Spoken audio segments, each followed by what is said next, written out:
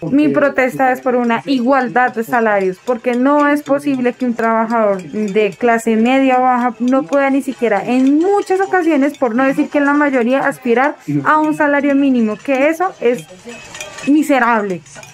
Comparando lo que se gana un congresista solamente por ir una o dos veces al Congreso a comer papitas y a dormir, mientras que la sociedad está desangrada, está desangrada. No es posible esto. Mi, mi protesta es por una salud digna, por una vejez digna, por mi mamá, por mi papá, por mis hijas, porque tengan acceso a una educación digna, por mí, pero también por usted.